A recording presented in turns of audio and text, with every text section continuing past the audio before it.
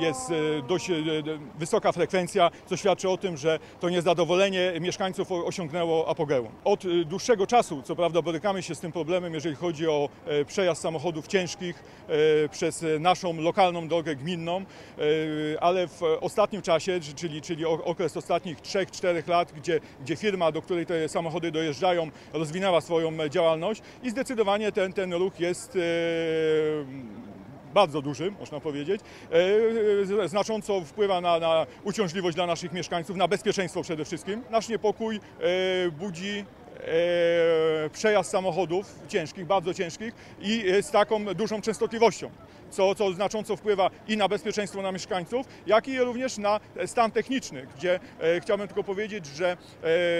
w ostatnim czasie została przeprowadzona ekspertyza, jeżeli chodzi o stan techniczny tej drogi, podbudowy i tak dalej i e, jasno zostało to określone, że e, dopuszczalna masa e, całkowita pojazdów, które tutaj e, mogą przejeżdżać, to jest 12 ton. Wszystkie e, opinie już zebrane i w przyszłym tygodniu e, komplet dokumentów trafia na biurko pana starosty, który jest e, zarządcą ruchu na drogach gminnych. Czyli jak gdyby decyzja o e, wprowadzeniu e, tej stałej organizacji ruchu z uwzględnieniem zakazu wjazdu samochodów powyżej 12 ton e, zostanie zatwierdzona lub uchylona. I dlatego uważam, że ten czas, ten, ten moment jest, jest bardzo istotny, żeby, żeby głos społeczny tutaj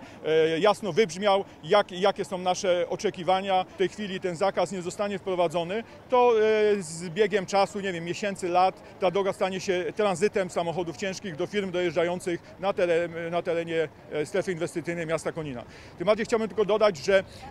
e, są drogi alternatywne, które, które można wykorzystywać, aby, aby tam dojeżdżać. Jest tylko trochę dobrej woli ze strony miasta, aby, aby e, wygenerowała pewne środki i przygotowała dojazd do e, strefy, którą sama stworzyła i, i, i, e, którym jak gdyby pozwoliła na, e, podmiotom na prowadzenie tej działalności gospodarczej. Ja z natury jestem optymistą i uważam, że przyszły tydzień naprawdę będzie szczęśliwy tu dla mnie, dla naszych mieszkańców i, i, i będziemy mieli pełną satysfakcję.